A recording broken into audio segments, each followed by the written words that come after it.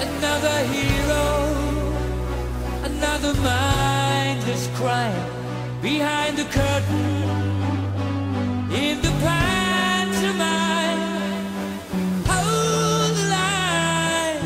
Does anybody want to take it anymore? Hi Alan, it's Fisherman's Blues host Nigel Botherway here.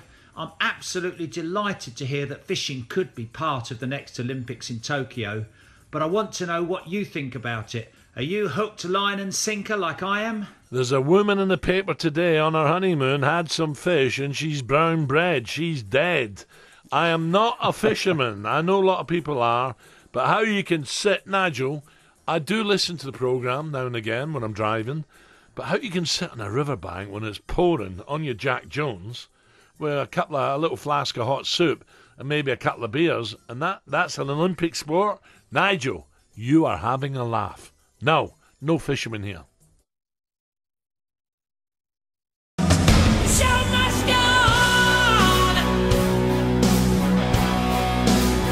Shout